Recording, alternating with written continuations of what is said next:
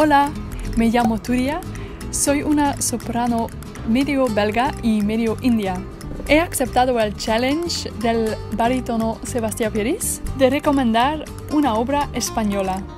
Mi obra favorita española es Poema en forma de canciones de Joaquín Turina.